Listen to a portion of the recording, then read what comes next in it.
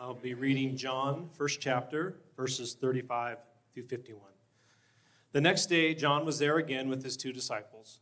When he saw Jesus passing by, he said, Look, the Lamb of God. When the two disciples heard him say this, they followed Jesus.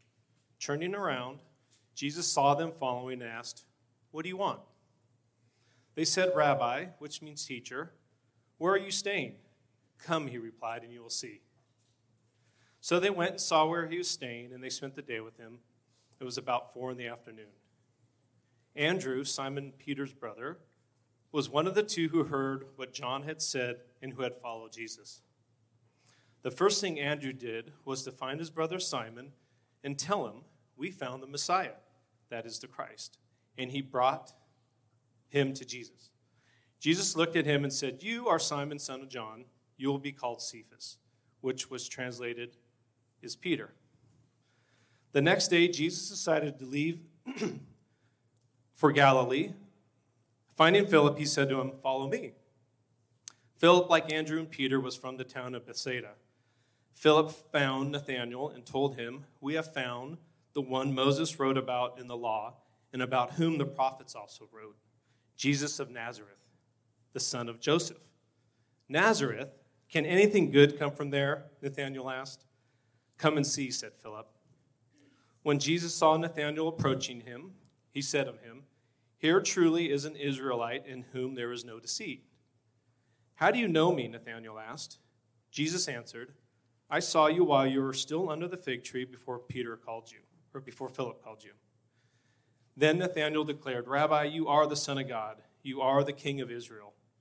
Jesus said, You believe because I told you I saw you under the fig tree. You will see greater things than that. He then added, Very truly I tell you, you will see heaven open and the angels of God ascending and descending on the Son of Man. Thank you, Dennis, very much. If you're following along with us, your Bible or mobile device, John 1, verses 35 through 51. We see in this portion of John 1 two things very clearly the role of every teacher who's a follower of Jesus, and the standard for everyone when they begin believing in and following him. Just a point of clarification so that we're all understand who and what we're talking about. In verse 35, where we started, the next day, John was there again with, his, with two of his disciples. Now, don't get confused. We're in the book of John, the Gospel of John, and the Gospel of John is talking about John. However, the John is talking about in John 1 is not the disciple John that wrote the Gospel of John. Two different Johns. So, this John, the next day, John was there again with his disciples, is John the Baptizer, the last of the Old Testament prophets, who would be the forerunner and prepare the way for Jesus the Messiah and his public ministry. And so we see the John the Baptizer in the first chapter of the Gospel of John. I don't want to get confused. We talk about all these Johns. The first thing that we see about the baptizer in this section is that he's pointing people towards Jesus. Verse 36 when he, John the Baptizer, saw Jesus passing by, he said, Look, the Lamb of God. Please understand the biblical standard for every Bible teacher and every pastor, they must always and only point people to Jesus. Look at him, not me. That's what John says. And this is what John will say again in John 3, verse 30. The baptizer will say, He must become greater, I must become less. He greater than I. The moment any teacher takes the focus off of Jesus and onto themselves, they become what the Bible calls an idolater, putting something as more important than Christ. The moment you, if you say you're a Christ follower, take the focus off of Jesus and put it on you, you commit the sin of idolatry. He must become greater. I must become less. Look at him, not me. He's got to be the focal point. See, when we boil it down to what it means to be a Christ follower or a Christian, it boils down to this very simple thing. Being a Christian is primarily about Jesus above self. That's primarily what it is. It's as simple as that. Jesus above self. Let me tell you why that's so difficult for people to get. It's not hard to understand, it's hard to get. It's not hard to understand, it's hard to do. And here's why because putting Jesus above self is so counter to our culture. Our culture says, I'm above all else. Our culture says, no, you have right, you have, and, and, if anything goes wrong, you're a victim. It's all about you. It's okay for you to get triggered by all kinds of stuff because it's all about you. Uh, the, the, the idea that we put Jesus above is counter to culture. And let me say this it's counter to everything that is social media. I, I don't know if I've ever mentioned my feelings about social media in this church, but, but, but what I believe is this everything in culture and the backbone of, of social, the backbone of it, of social media, is me. It's about how I want people to see me. It's about the image I want to portray about me and my family and my children. It says, look at me. I came up with this idea this week. Now, I'm not a social media er. So, so for, for you social mediaites, I, I would, how about this? How about you only post stuff on social media that brags about somebody else or someone else's kids?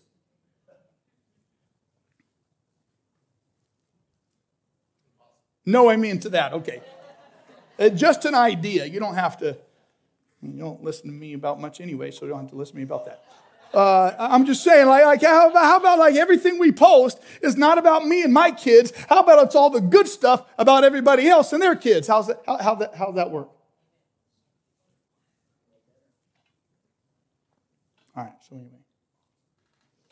The starting point to obedience of any command in the Bible is to put Jesus ahead of self.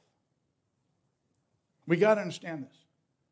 The starting point to obedience to any command, it starts with putting Jesus ahead of ourselves. See, only when I put Jesus ahead of me do I choose to obey him. Does that make sense? It's only like if I put me ahead of him, I'm going to obey me, not him. But if I put him ahead of me, then I'm going to choose to obey him. It's the starting point for the obedience of any command in Scripture. Only when I put Jesus ahead of me do I humble myself. Only when I put Jesus ahead of me do I choose to honor others ahead of myself. Only when I put Jesus ahead of me do I not show up late to church. No, I'm just kidding. The only when I when, when I put Jesus ahead of me is when it changes how I relate to others, how I talk about, it, how I speak, how I feel about. It. Only when I put Jesus ahead of me is it changes who I, how I give and how I serve. Does that make sense? It's only when I put Jesus ahead of me. You know what the vice versa of that is?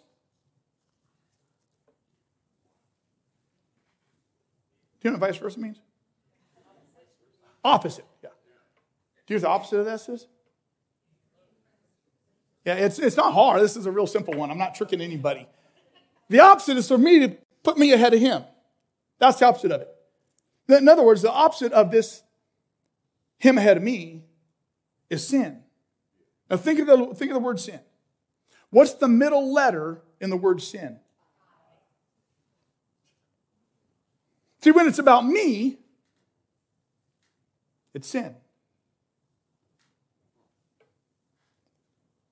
When I put me ahead of him, it's about sin.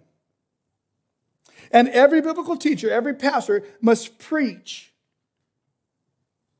him ahead of self.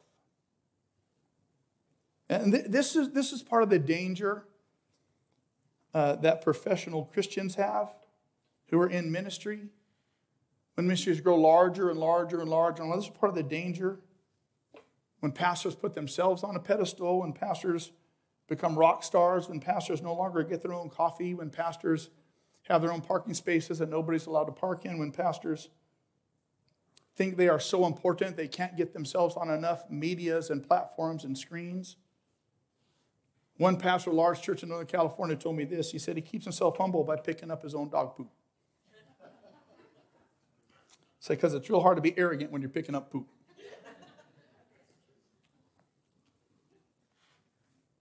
He must increase, I must decrease.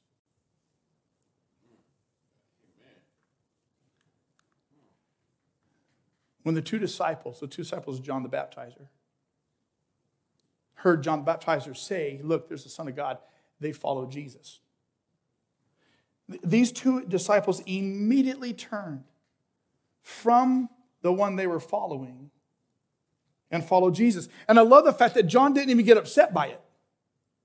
Like I, have said this before. I don't know if you've heard me talk about how insecure pastors are.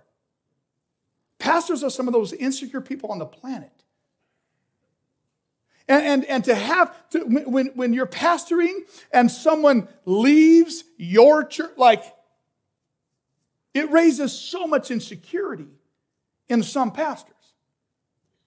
Now, there are other pastors who chase people off, they don't mind at all, but but, but so these, these two people, they turned from, from John, and, and John wasn't even upset. And some people say this is the beginning of the church. When, when two things are at play, when there's a faithful minister who's pointing others to Jesus, and there's people who hear him do that and follow Jesus. This is where it starts. And as they, these two approach Jesus, they ask him this question Where you staying? You know, uh, uh, Jesus, Jesus, verse, verse 38. Turning around, Jesus sees them following him. And they ask him this question What do you want? He, he sees them turning from, from who they were following and, and turning to him. And his question is, What do you want? And it's the same question. Everyone, every one of us, when we turn from what we are follow, and turn to Him, He asks us the exact same question. And it's much deeper than just what do you want? It's much deeper. We read it as what do you want, but what Jesus is really asking them, and the same thing He asks us, is this What are you searching for? What's at the kernel of your search? See, Jesus knows that every one of us is searching for something. Sometimes the thing that we're searching for is a one that we're searching for. And we bounce from person to person, relationship to relationship. Sometimes it's the thing. One accomplishment to another to another, one to do to another to another, one possession to another to another. Jesus asks us all, once we turn away and we start looking at him, the first question he's going to ask is, What are you searching for? Because Jesus knows that every one of us is searching for something. No matter what we found aside from Him, we're searching for something. And Jesus also knows that He's the answer and the starting point to finding what we're searching for. And so they ask Him, they ask Him, Where are you staying? What they're really asking is, Can we stay with you? And his, his response to them is, Why don't you just come along? Come along and see. Come along and, and you'll see. He doesn't ask him to, to, to do it. He doesn't ask him to be, at this point, he says, just follow me. And as you follow me, you will see. The answer is very straightforward to the question. Jesus' invitation to every one of us who is searching is come to me and you'll see. This is still Jesus' response to every one of us who want to know him better. He just gives us the invitation just come, and you'll see. And there, with that invitation is a promise. We know what the promise is to that invitation. Again, a couple chapters later in the book, uh, later in the book of John, he says, "Come to me, and you will see." And then in John chapter 6, verse 37, he says this All those the Father gives me will come to me. And whoever comes to me, I will never chase you off. I will never drive you away. I know you're searching for something. Come to me and see. And there's safety in that. Because no matter what it is you're searching, no matter where your search has taken you, no matter how far that may be from you turn around and come to me, and I will never chase you away. I'm going to tell you right now the two best things you can do today one, discern and define what it is you're searching for. And secondly, come to Jesus and begin to find it.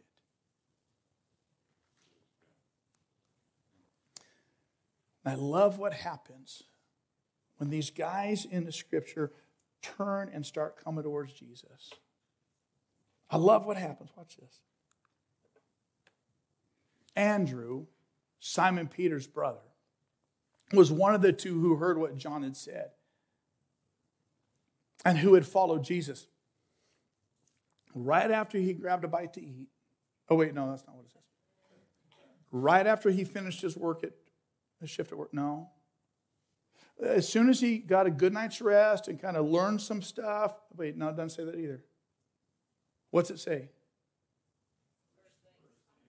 The first thing, right off the bat, the first thing, he didn't know nothing about nothing. Only thing he knew is now I saw him.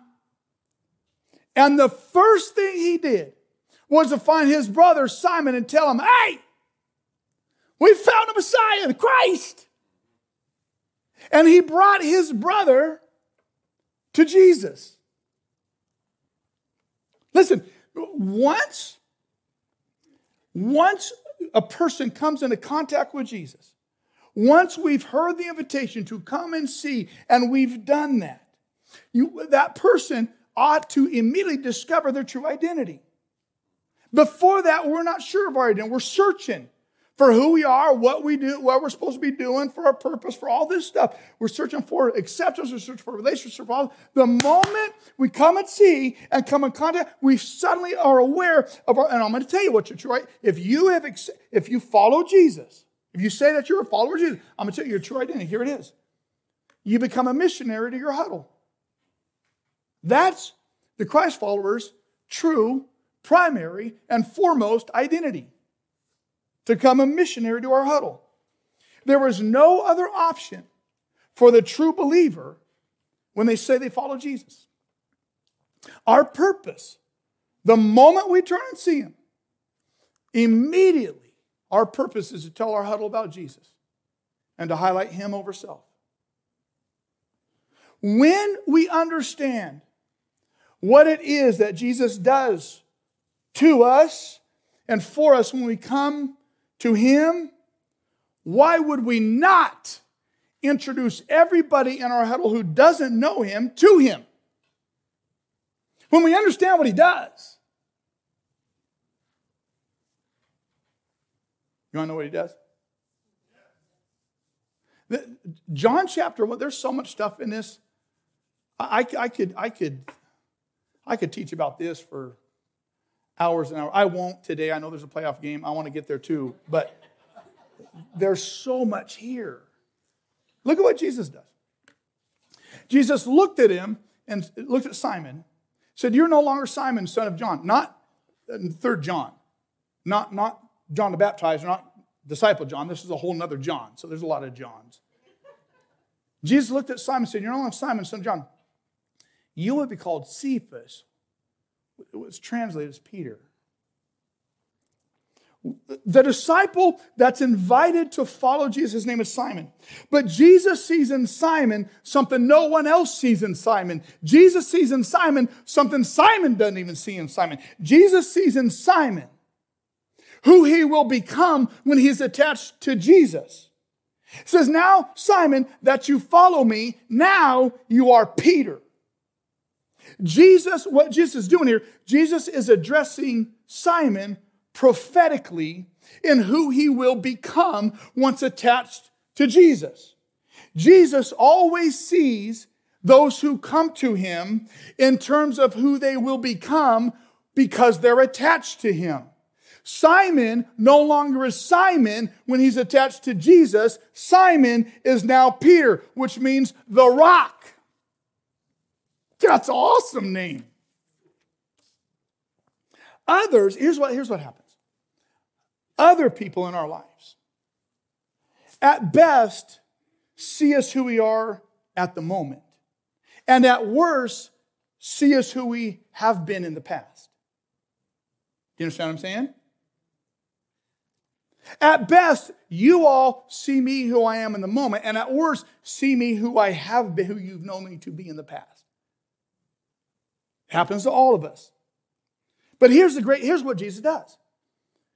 When we turn and come to him, when attached to him, Jesus knows that my destiny is greater than my history. So Jesus doesn't refer to me anymore by who I am nor who I've been. Now Jesus only refers to me prophetically and who he's called me to be. And, the great thing about this man, Simon, who is now called Peter, the great thing, he's called the rock. He would spend the, he will spend the next three years of his life walking alongside Jesus, being anything but a rock. He'll live a lot more in the Simon part of his life than in the rock part of his life. Again and again and again, this man will fail. He'll take two steps forward and one step back. Does that sound familiar to anybody? But he will become what God has called him to be, which is the rock, a man of such strong faith that he will become the one who is the leader of the church after Jesus' ascension in heaven. And he will become a martyr, so much so that history tells us, tradition tells us, he was crucified for his faith, not willing to back down or back up, but him not considering himself equal with Christ, did not consider himself worthy to be crucified like Christ, who was crucified upside down. Amazing man of faith. Here's what I know every one of us. God is calling us to come and see and to follow Him because you and I are not now what we will be. He calls us into our future self. And we may falter a lot along the way. We may take a lot of steps backwards in the journey. But when we stay attached to Jesus, we will arrive at what He has spoken over us. Here's what I know Jesus has called us into being. He has called us into and as a new creation, even though He knows and even though he sees our future sin, he still calls us into a new being. This is what love is, and this is what grace does. It cancels all current and future debts against God when we come to him. See if this and see if that hasn't been your experience. Isn't it true that others hold us hostage to the sins of our past? Even though the Bible says, but I'm a new creation. But people hold us hostage to the sin of our past. You know why they do it? It's because they put themselves ahead of Christ. Because Christ has said, I'm a new creation. Here, here's, here's what I've discovered. We are far too fascinated with the sins of others. We are fascinated and infatuated in knowing the sins of others. Listen, everyone don't need to know everybody's past. Here's the thing you don't need to know my past. I don't trust you with my past. You, you, you don't need to know the trail of my sins. All you need to see is the outgrowth of God's grace.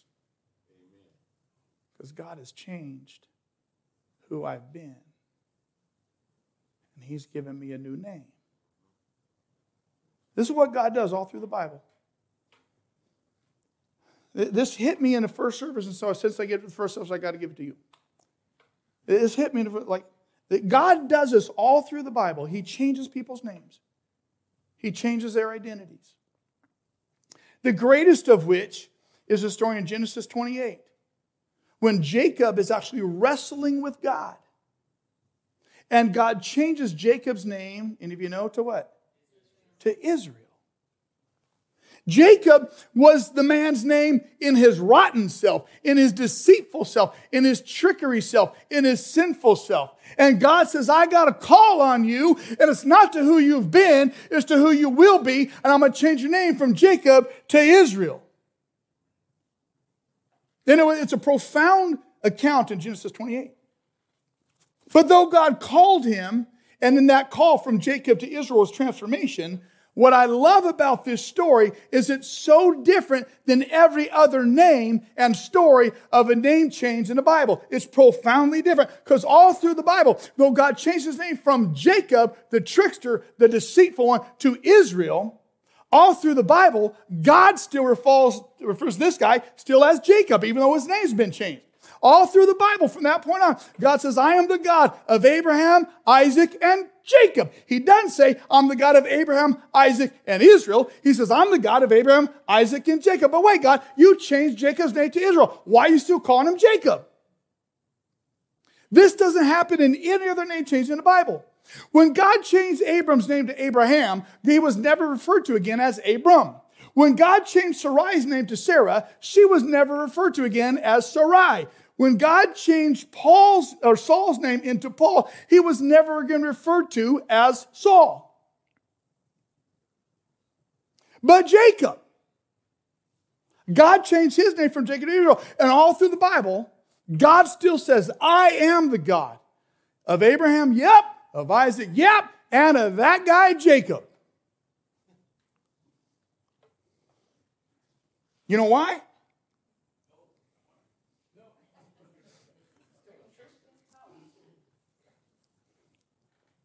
Because I think God wanted to tell us that even though I have changed who you are, you still got some Jacob left in you. And even though when you're still Jacob, I'm still your God.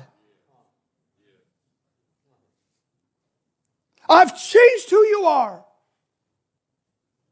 And even though you got some Jacob, even though you got some Simon in you, when Jacob pops up and Simon pops up, don't you be afraid because I'm still your God.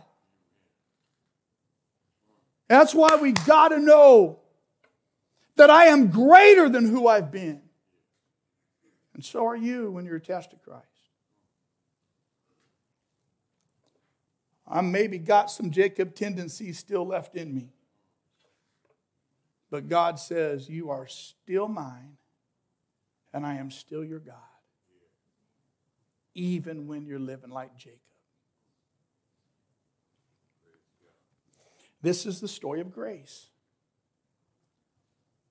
Sometime I'm going to preach a message on Genesis 28. I got to get back to John 1, but there's a lot here. Let me give you one more. Can I give you one more about Genesis 28? Think about the story. If, if, if, if, if, you don't, if you never read the, the, if you aren't familiar with the story, go back and read it sometime, Genesis 28. If you're familiar with it, it'll click as I talk, as, as I talk about it. Jacob's wrestling with God. And it's nighttime. And the Bible says he wrestled all night long. There's so much in this passage, I wish I could preach it. And, and God says, Jacob grabs hold of him. And God, and God says, Boy, you better let me go. And Jacob says, I'm not letting you go. I need something from you. And God says, Boy, you better let me go. The sun's coming up. You better let me go. If you don't let me go, you're going to die. At that point, Jacob, in defiance, says, I ain't letting you go. And so God breaks his hip so that he'll let him go and blesses him. Here's, here, here, here's what just slays me about Genesis 28. Jacob is living in defiance of the Word of God. God said, Boy, let me go. And Jacob says, No, no, no. I'm putting me ahead of you. I'm not going to let you go. God says, You better let me go. And he says, No, I'm putting me ahead of you. What is that called? Sin defiance. And God says, "You bet if you don't let me go, you're going to die." And Jacob says, "Fine. I'm going to stay in defiance till I get what I want. So God broke his hip and blessed him. Do you know why God said, Let me go, lest you die? Do you know why God was telling him to let him go? Because of his love. He was protected. He was an offer of grace. Because here's what happened. Because the Bible says no, no one can look on God's face and live. It was nighttime when they started. The sun was coming. What was about to happen? You're going to see his face. And so God says, For your protection, you need to obey me. And Jacob, in his ignorance and defiance, says, No, I will not. And God breaks his hip and then blesses him. It's the story of grace, even when we're living in our Jacob times. And God's grace is so profound. He has called us and he will bless us in order that we might not be destroyed. He can save us. So, for all of you for whom God has called you and changed you, but you still are living like Jacob and you still got some Simon tendencies. Rest assured, God says, I will still be your God. And there's no way I'm going to lose you. Sometime I'm going to preach on Genesis 28. Not this morning. Just be careful not to judge someone too soon. You may be seeing their Jacob. You may be seeing their Simon, but they're called to something else. And God is still committed to them. So don't you judge my Jacob, because God has changed my name. Don't you judge someone else's Simon, because God has changed their name. You get this? See, Jesus chose to die for and provide a way for forgiveness for all of our sin. And when God chose to love us and Jesus agreed to die for the forgiveness of our sin, all of our sin was in the future. It hadn't happened yet. Our present sin, what you did last night, our present sin was still in the future when God loved us and Jesus died for us. So it's already been provided for. Our only responsibility now, because God has called us, is to turn to Him and confess. That means agree with Him about our sin and accept Him, follow. Then all of our sin that was still in the future when He died has been covered. So now, because my sin has been covered, when I sin, I repent. That means I turn and change. But I, real, I live in this state of relationship with the Father where my sin in the future has already been covered. Because I have a relationship with Him and He died for it a long time ago. Does that make sense? You understand what I'm saying? So now, rather than wallowing in forgiven sin, and rather, rather, rather than being a slave to forgiven sin. Now I thank God for forgiveness already given, and I live in the perpetual state of His mercy and His grace over it. Because I'm changed. So now all I do as a changed man is plead the blood of Jesus that was shed on the cross over my sin that He's already died for. When I understand that, how would I not introduce this God to people in my huddle that don't know him?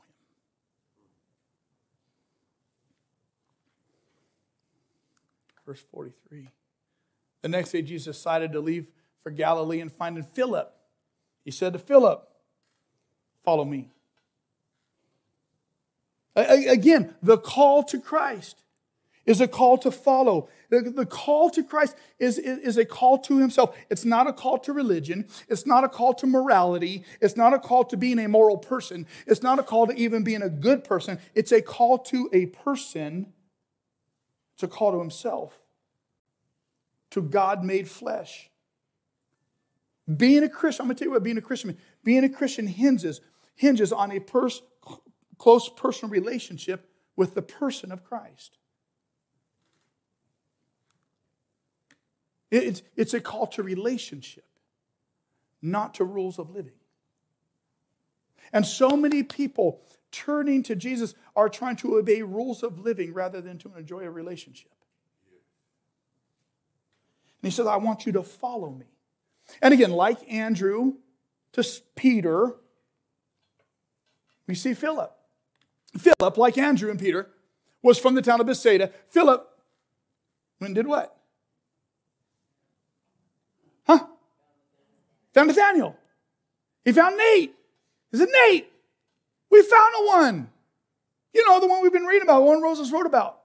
Wrote about him in the law and the prophets wrote about. It's Jesus of Nazareth. That guy. And, the, and, and then I was like, Chowchilla? How can anything come from Chowchilla? That's the biblical translation in Greek of Nazareth.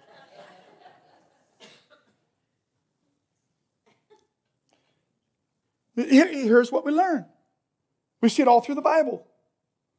The lesson we learn is this when we come to Jesus, now go to your huddle and speak what you know. It's that That's what Philip did to Nate. He just went to Nate and said, Hey, this is what I know. We were looking for this guy, we found him. Now come find him. Come, come see. I love the fact that Philip didn't talk theory, Philip didn't talk practice, Philip didn't talk behavior, Philip didn't talk religion, Philip didn't talk politics. All Philip did was talk about what Philip knew. We found him, you need to find him too. That's it. Nathanael's response Nazareth, anything good comes from Nazareth? In essence, here's what Nathanael was saying I have my doubts and I have my reasons not to believe you. If any of you have ever been so bold to share faith with someone, you've probably heard that same response, maybe in different words. I have my doubts and I have my reasons not to believe you. And I love Philip's response. It's a, it's a blueprint for all of us. All he did was, okay, come and see. I love the fact that Philip didn't try to convince him. Philip just invited him. Just come see. He, he let Jesus do the convincing because he knew that Jesus was better at convincing. He didn't have to have all the answers. And, and, honestly, some of you might, if, you, if, if you're a, a, Jesus follower, you might think, well, I'm a Jesus follower, but I'm not really one of those evangelist guys or gals. That's, this is a great evangelism strategy. And it's how God has wired some of you to not be a proclaimer, just to be an inviter. And that's how both of these guys got the people in their huddle to meet Jesus by a simple invitation. I don't have your answers. Just come and see. I'm going to try to argue with you about it. Like, come and see. And this is how this whole thing wraps. I realize what time it is. The game doesn't start for a little while. Just hang with me for just a minute. Watch this. This is this crazy. This sometimes I get a little, I don't know, I feel like I get a little too excited about some of this stuff, but but it's fun. So just look, watch it. When Jesus saw Nathanael approaching, he said to him, Here truly is an Israelite in whom there's no deceit.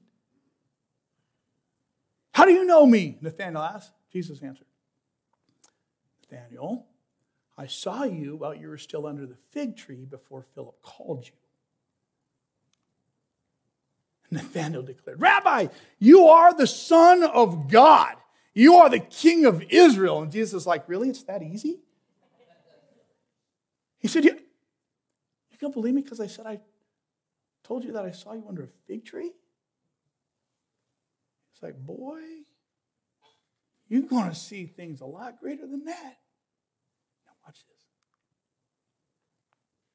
He said, Very truly I tell you, you will see heaven open and the angels of God ascending and descending on the Son of Man. That weird interaction. Let me tell you what's going on. What we're not told in Scripture, but we are told if we understand it, is that Nathanael was under a fig tree meditating and thinking about Genesis 28 that I just told you about the name change. Because in Genesis 28 is a story about Jacob the deceiver. How did Jesus address Nathanael? An Israelite in whom there is no deceit. In that interaction, Genesis 28, Jacob sees the angels of God ascending and descending from heaven to earth on a ladder. Jesus tells Nathanael, You were impressed with that? Wait a minute. You're going to see what? Angels. He's quoting what we know, Genesis 28. He's Nathanael's meditating on this passage of scripture and meditating on how do I become that man in whom there is no disease? How do I put myself in a position to see as Jacob did, the angels ascending and descending on the Son of Man? He, he's in that moment thinking, having this devotional moment, and Jesus enters into that and says, I see who you are, and I'm telling you that you will see heaven open and the angels of God ascending and descending on the Son of Man. He says, You're going to see this happen because I am the ladder through which heaven is open and the angels ascend and descend on. See, what this means is this that Jesus is the one who connects heaven to earth. What this tells us is that Jesus is the one, the central point through which heaven's blessings are brought to his people. Everything good, every promise of God, everything God wants to do in you, through you, for you, and by you is not done, is not granted, is not given because you've earned it nor deserve it. It's given and done because and for and through Jesus. And Jesus' words still ring out to us. You will see. Because of me, Jesus says. Heaven open, the angels of God ascending and descending on the Son of Man. And so when our lives are attached to Jesus, we have the opportunity and the option and the, the privilege of seeing angels did you know this? And so Jesus says, Come to me. And so, I'm, I'm, going to wrap up pretty soon. Watch this. One more thing. I'm going to draw the whole thing together. One more thing. Hebrews 1. Are not all what? Angels, ministering spirits sent to serve those who inherit salvation. Isn't this the angel's job? The writer of Hebrews says, says it's the angel's job to serve, to aid, assist, to help those who have attached their life to Christ. Now, some angels exist only to worship God 24 7. Read Revelation 7, you'll learn all about it. But there are some angels who exist to serve, assist, and help believers. That's their job. Now, if that's their job, my question is how do I get angels activated in my life? Right? If their job, this is going to be worth it. If their job is to serve, help, and assist me who will inherit salvation because I've come to Christ, how do I get them activated? Do you know how? Not ask, not pray. Those all seem like the right answers. I understand. That's what I would answer too. It, it seems like that's right, and I get it. How about I just tell you? Angels only do as commanded by Jesus. They, they don't respond to our prayers. They, they don't move in our lives because we love God. They don't move in our lives because we're obedient. None of that. They only take direction from God, and once Jesus has given direction, they're immediately employed. When Jesus gives answers, they're deployed and they fulfill them, or gives orders, they're deployed and, and angels fulfill them. So, how do you get angels if you've attached your life to Christ to serve and assist and help? The Bible tells us. And if you've got a really good Bible, Luke 12 8 is going to be in it. And so you can check and see if you got a really good Bible. Here's what the Bible says. This is Jesus talking. Whoever publicly acknowledges me before others, the Son of Man will also what? Acknowledge before whom? The angels of God. Here's what it means to acknowledge. To acknowledge Jesus means to declare openly, to speak out freely, and to profess oneself a worshiper of. What Jesus says is these angels exist to serve, help, and assist those of you who will inherit salvation. If you declare openly, speak out freely, and profess oneself to be a worshiper of me because I am the ladder through which the angels ascend and descend. And it doesn't happen without you declaring openly, speaking out freely, and professing yourself a worshiper of me because I am the hinge point of heaven and earth. So here's how this goes down. We have a relationship with God through faith in Jesus, and we have needs and angels stand at the ready because some of them exist to help, aid, and assist us who have need. And we cry out, God, see my need. God, know what I'm going through. I'm trying to be obedient to you. I'm trying to do everything I know to do, but I need some help and angels stand at the ready. I'm ready. I exist to serve help and, and, and, and give aid to, to that child of yours who is in need. Let, give me the word. And I, I hear them saying, I can't go at their request, but I can go at yours. So just say the word and I'll go. And Jesus is standing and he looks at us and looks at them and looks at us, looks at them and says, no, no, no, now stand down. Because I have given them a huddle before which to declare openly and to speak freely and to profess himself as a worshiper of me, and they've not. I would love, I love them. And I would love to cut you loose. But I told them how that happens.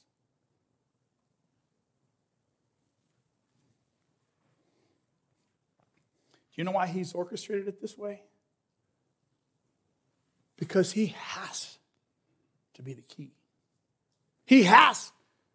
He's got to be the priority.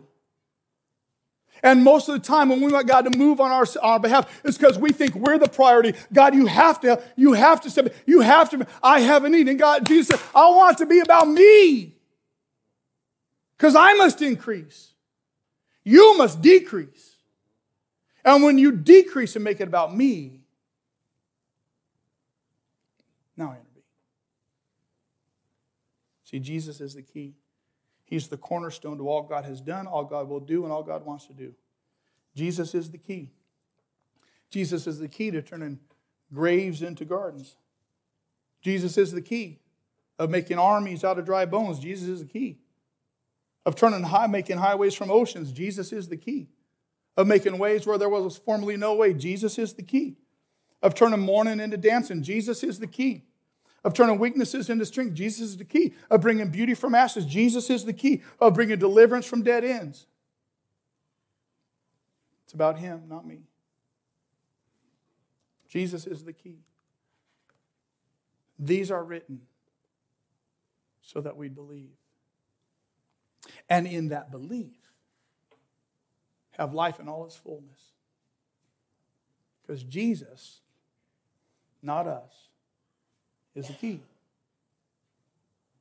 that make sense? Father, thank you that you love us. Thank you that even in the midst of all our future sin, you chose to love us, and Jesus, you chose to be obedient unto death. We confess in this moment that you are the key. And that you are the priority. For those of you who have never yet professed belief in Jesus and put Him ahead of self, for, for, for those of us who have done that before, I would invite us to do it again. And in this moment, admit sin. I missed the mark. I'm sorry, God. Thank you, Jesus, that you died to cover that. Tell him, Father, I plead the blood over my sin. I plead the blood of Jesus over me. Help me become the person you have called me into being. This morning, again, I choose to believe. Give me life. Father, I thank you that though we've been Jacobs, you've called us. Though we've been Simons, you've called us. I think that even though we live sometimes as our former self, you've called us to a future self, and you see us as we future are. Father, we choose to believe. And because we choose to believe, do what you said you would do. And turn our graves into gardens. And turns the floods into highways. Give us mercy over our failure. Give us a beauty for our ashes. We choose to believe, Jesus, you are the kingpin and the cornerstone. We choose to believe. We love you, Jesus. In your name I pray, amen. Let's sing.